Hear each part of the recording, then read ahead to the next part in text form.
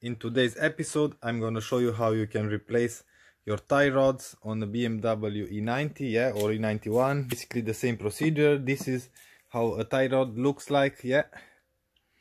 And in order to replace this, we are going to need just a few tools. A 21 spanner, yeah. For the nut, we are going to need a T40 for um, the torque in, inside the ball joint yeah the bolt from the ball joint something like this.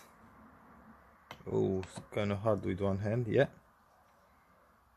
Okay this is T40 and after that we are going to need a T50 to remove the tie rod from the steering rack. Yeah something like this.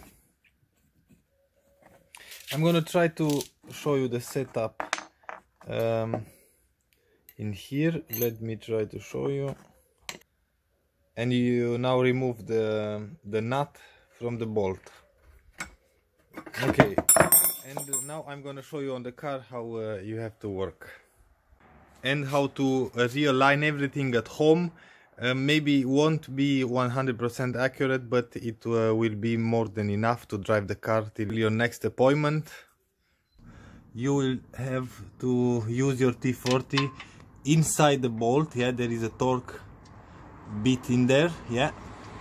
Put the T40 in there with a 21 spanner and you can undo this. You will use the T40 just to keep the bolt straight otherwise it's going to spin here in the ball joint. Yeah. We're going to undo this screw this small bolt. Yeah you can do this completely. Okay we are going to take out the nut.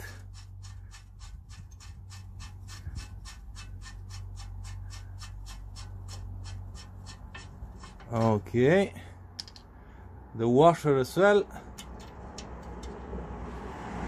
Yep and normally you maybe you have to hit it a little bit with a rubber hammer but normally this will will take easy out because this is aluminium and uh, that will not rust.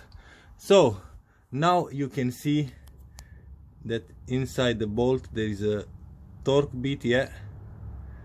Okay after doing that before before starting removing your uh, tie rod I'm gonna show you a small trick yeah you will have to have some paint.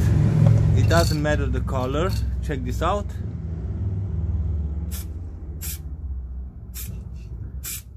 Okay that's done.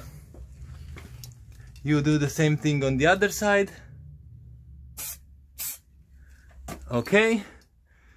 Yeah you can see both are painted.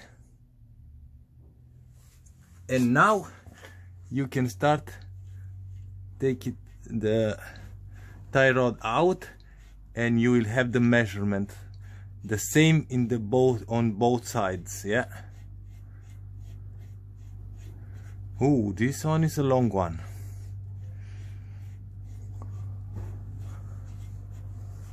And voila yeah. You can see the tie rod is out and you have a perfect line.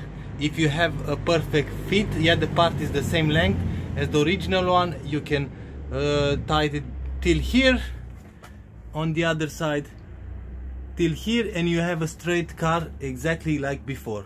Uh, these are the old parts here and this is the new one. Now in order to be sure that everything is the same dimension uh, at first I thought this this is the new one and, and this is the old one.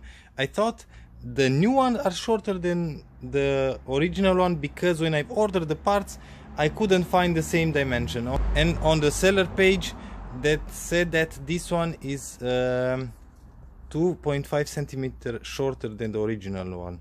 But apparently check this out. Apparently are the same yeah? But in order to be sure I'm gonna show you how we can um, test that. You have to put a piece on the board or something make a line straight as possible right here yeah. Another one another one in here. Okay. So we have the dimension in here. Put the new piece. It was the other way around. Okay. Oops.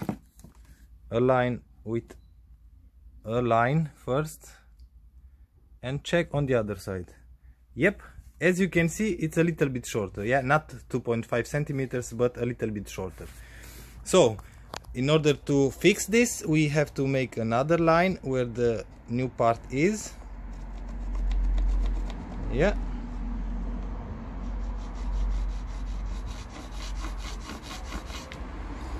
Okay so here is aligned now we have the new line where the new part ends or begins yeah? You can take the piece out and we have now this difference. Now we have to measure this difference. I've checked uh, with both uh, of the new parts with the old part yeah?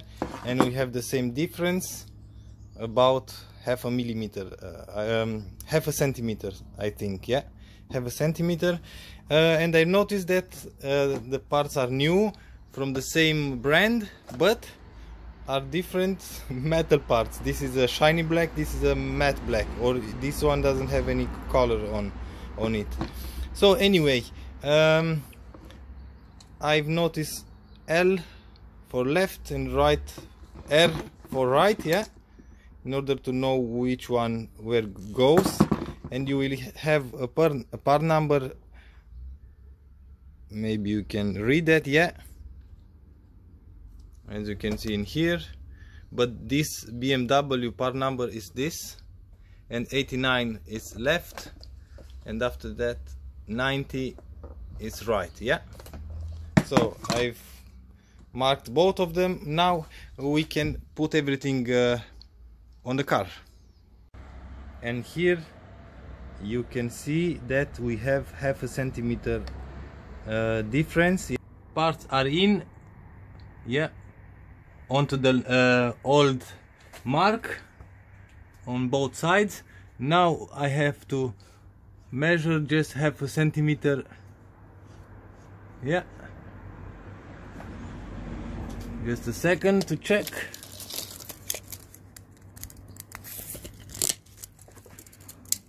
so this is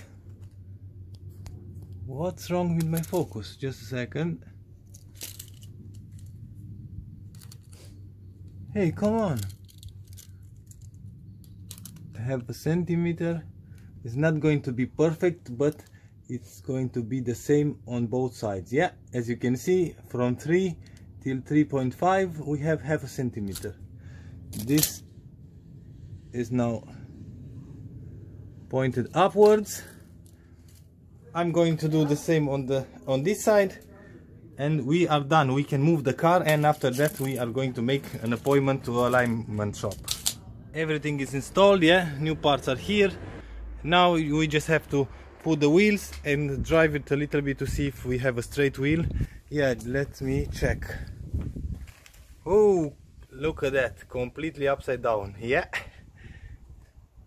oh yeah the wheels are not straight so yeah we'll see about that. Now I'm on the car. As you can see the steering wheel is straight.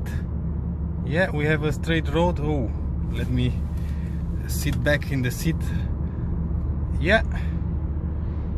And the car goes a little bit to the left right. Yeah. So it's not that bad.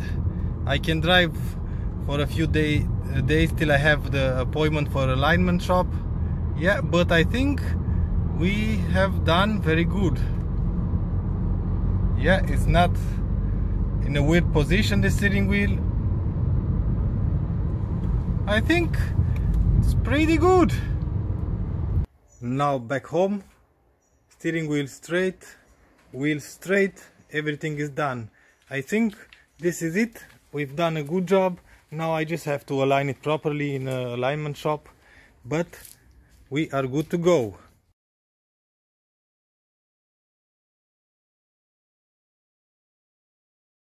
So if you like this video, please give me a thumbs up. If you don't like the video, thumbs down. Until next time, see you later.